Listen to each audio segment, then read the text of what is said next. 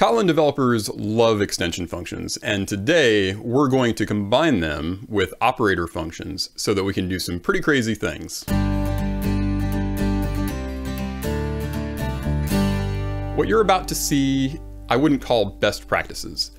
Some of it will be immediately useful to you, some of it might give you ideas of things that you could do in your own projects, and some are just going to be parlor tricks that you can use to amuse your friends.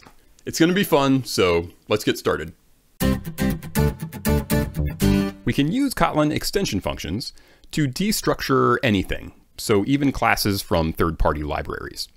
So we can destructure something by using the parentheses like we're doing here on line 6, but in order for us to destructure an object, that object has to have certain functions on it called component functions. Now, when using a data class, Kotlin will generate these component functions for us. So this is the secret behind destructuring. If we can add a component 1 and component 2 function to a class, we'll be able to use destructuring assignment like we've got here on line 6. And as we're about to see, with extension functions, we can add these component functions to anything. Let's destructure a local date object into separate year, month, and day variables, as you can see we're doing here on line 6. Now, currently the compiler is not too happy with us, and that's because a local date doesn't have those component one, component two functions and so on. But with extension functions, we can easily add them. So let's go up here. We'll just put it inside the main function. And we'll say operator fun, and our receiver type is going to be local date, component one, and we're just going to say first component is year.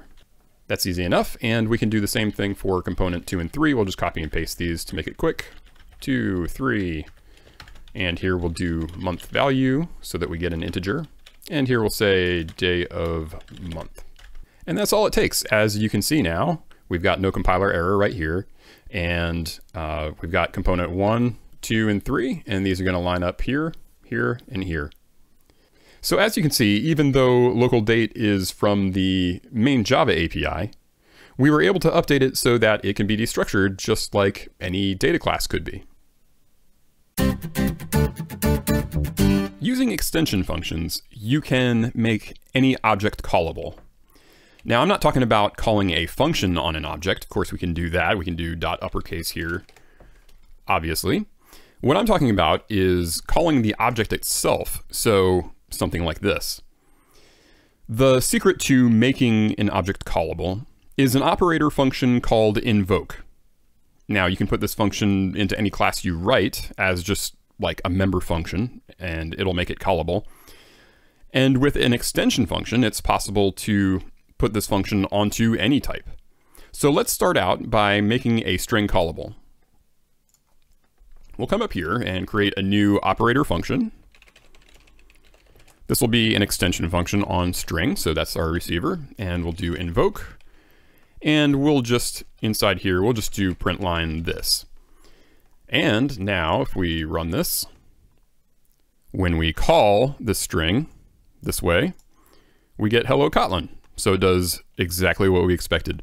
Now, if we change this receiver type to any, that allows us to do this not just for strings, but for numbers or booleans.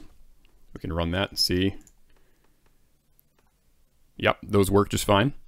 And in fact, even if we make this a nullable any, then we can even make null callable.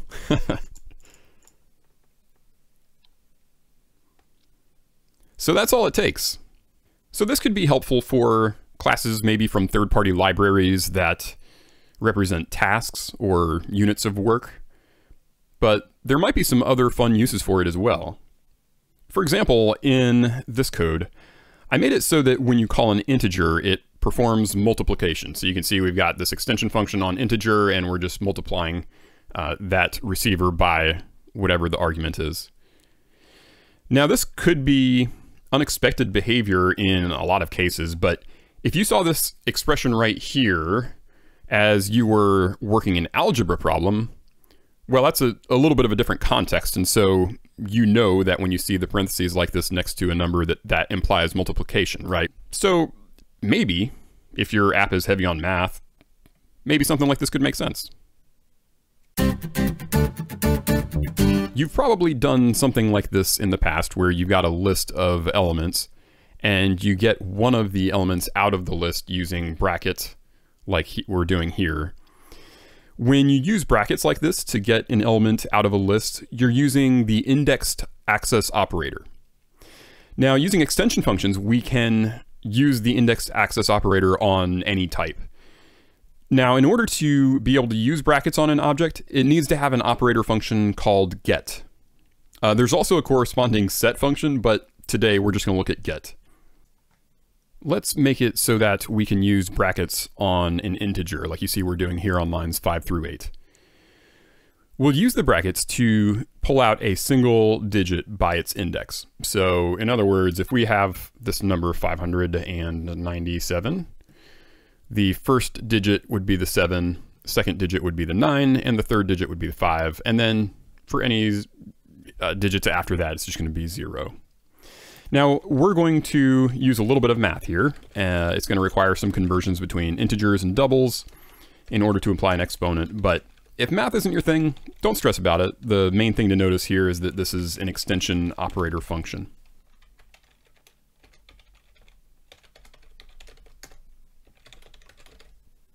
And now when we do on this line number with brackets and zero, it's calling into this get function, passing that zero as the argument to that digit parameter. Uh, let's run this to make sure that things are working like we expect.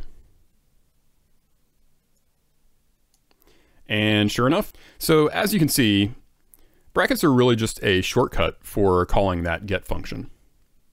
So let's have a little fun with this. We can create a generic extension function that will allow us to take any object that has a one parameter function type and make it so that we can call it either with parentheses or with brackets. So to demonstrate this, let's uh, let's take a look here. We've got this variable called double, and uh, this is assigned a lambda. You can see it's got a function type of uh, integer to integer. And so, of course, we call it with the parentheses, as you can see right here. So let's add an extension for the get operator function. We're going to make this a generic type, so it'll work with anything. We're going to use it on that integer to integer, but when you look at this, you can see this is a function type that we're uh, creating an extension on. We're going to get a parameter of type t and return type r. And then inside here, we're just going to return this parameter like that. And so now we can call the same function, result 2 equals double, and we're to we're using brackets to call it instead of parentheses. But you know, why stop with just parentheses and brackets when we can do braces too? Let's add another operator function here We'll put this on the same type as above, T2R, uh, and we'll do an invoke here. And instead of just the parameter, um, we're actually going to call this the param provider. And this is going to take a function type. And then we return R. And inside here, very similar to above, but we're just going to do param provider and make sure we actually invoke that, not just pass it. And now Result 3 equals double. Open those braces and look at that. So we can call, we can call our uh, our function type with either parentheses or brackets or braces. Take your pick. Now, I hope you won't actually do this in real projects, of course, but I think it's a great way to gain an understanding of how these things work. Now, before we move on, I'd like to point out that you can also use a get extension function to augment a type that already allows an indexed access operator.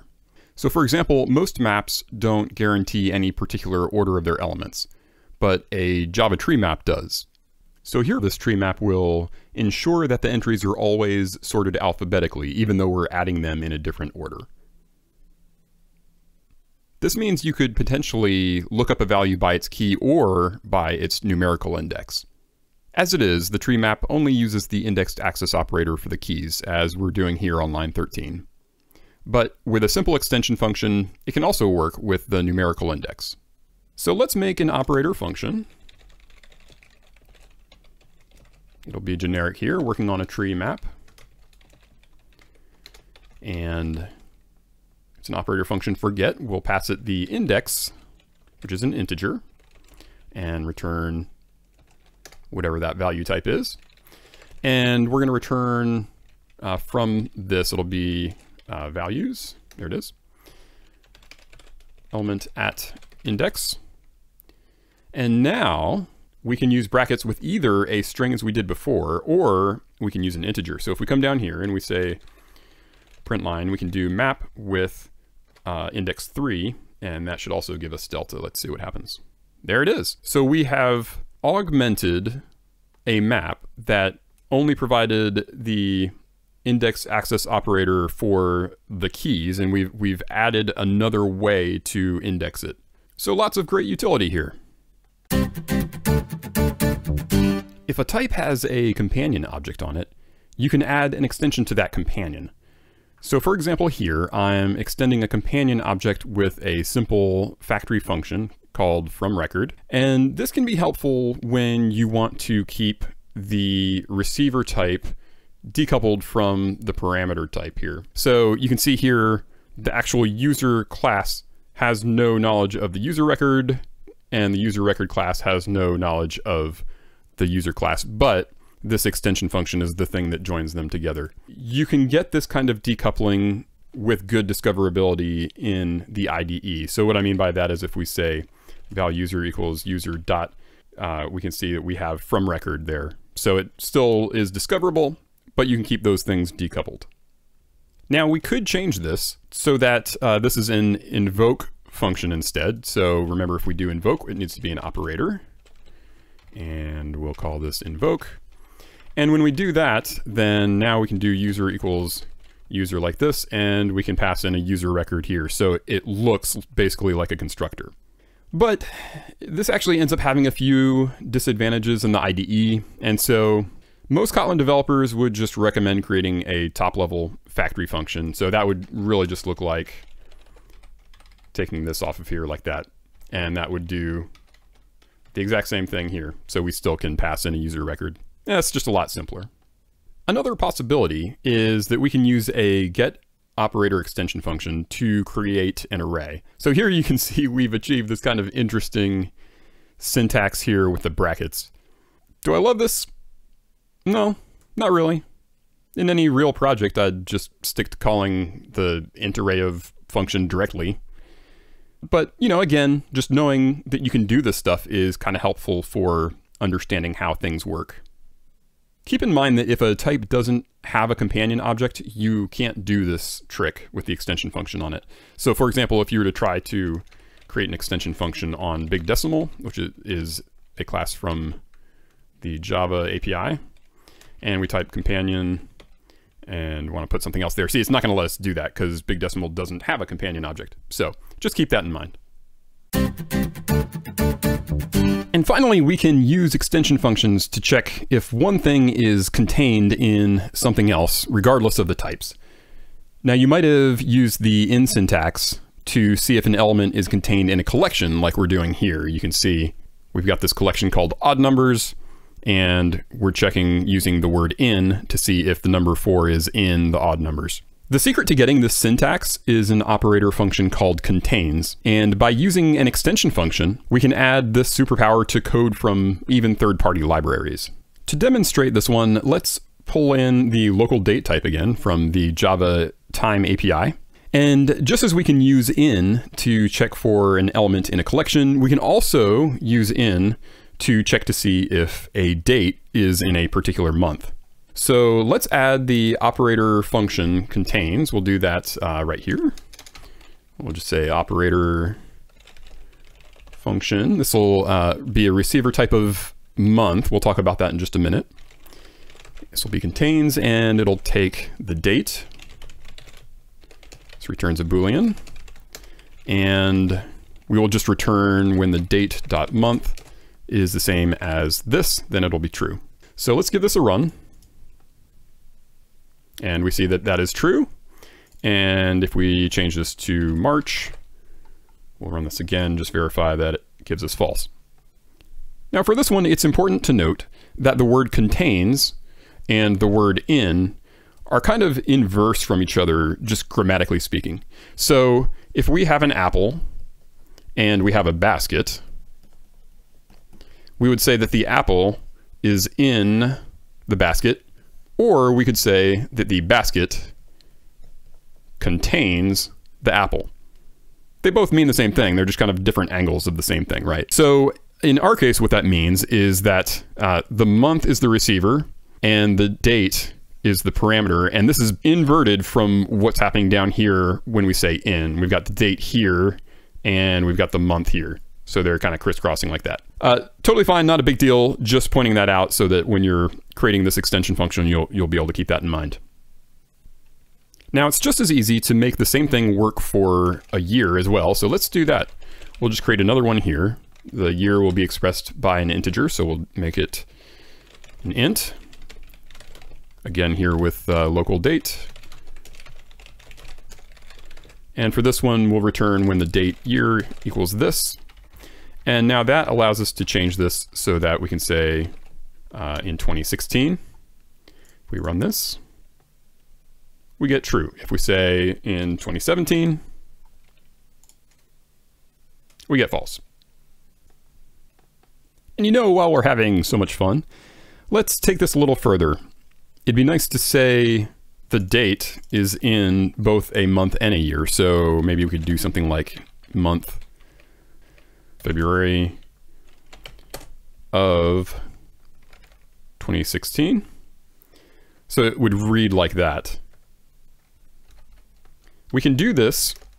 Let's um, let's start with an infix function for of month dot of pass it the year as an integer, and this is just going to bundle it up together in a pair. And so we can just do this to year. Uh, so the compiler is happy with of now, and now it's just not happy with the in. So we can do yet another operator function. And this one's going to be on the pair of month and integer. Just do a dot contains on this guy. Again, passing the date, local date. And for this, we can just reuse the functions that we did above. Let's just do that. That'll be easy. And date in second. And now when we do this, let's run this and see if it works. We get true. So if we change either the year That'll give us a false. And if we change this to a different month, say March, there we go, March, we also get false. And there you go. Now we can check to see if a date is in a month of a particular year. Well, there you have it. Five fun ways to use Kotlin extension functions. There are a lot more operators to overload than we did here. So I've linked to the Kotlin documentation for operator overloading in the description. It might give you some more ideas on things you could do with arithmetic operators or equality operators or comparison operators. I'd love to hear what fun ideas you come up with. You know how the comments work on YouTube, so show me what you got. See you next time.